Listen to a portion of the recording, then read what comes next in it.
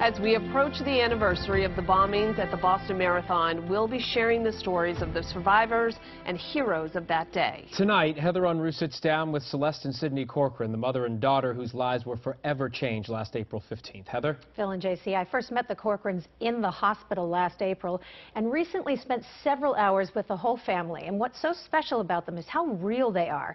They're just incredibly honest people, as you'll see when they talk about where they were then and now. I feel like I'm at a point now where I'm gaining my strength back. Like they didn't, they didn't beat me down, they didn't win. And it's important for me to feel that way.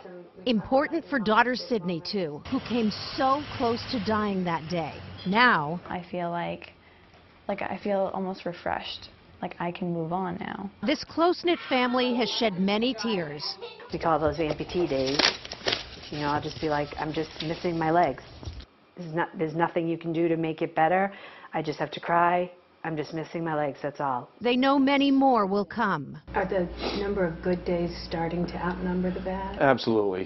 Yeah, without a doubt. Celeste's husband saved her life Marathon Monday, but watching her determination since is saving him. She's the glue that holds our family together, without a doubt. Oh, She's my inspiration. She's a lot tougher than I am. In the very early days, I used to say, like, what is our family going to look like a year from now? I was so afraid of that, and it's coming along. They've survived one very long year, suffering hardships. If I think back to when I was in the hospital and going through rehab, like that was so, so hard. But celebrating milestones, too. Learning not just to walk, but to run, and even to drive again. It was, it was a challenge. so it was that freedom, gaining back that freedom, that was huge to me. Starting freshman year at Merrimack College was monumental for Sydney. I like that I can just walk around and be one of the students. Like I don't have to walk around and be the, the bombing survivor.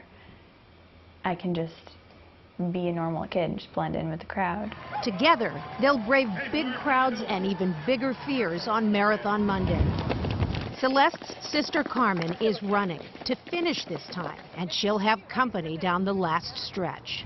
My dream is to be at the finish line with Sydney, waiting for Carmen to run her race. I think of us just holding hands and just crossing the finish line, the three of us together. I get chills thinking of them, you know, just wanting to be in that space on that one-year anniversary. And they assure me there will be plenty of tears, but they will be happy tears this time. Celeste says with all of the heightened security, she does feel confident that her family will be safe.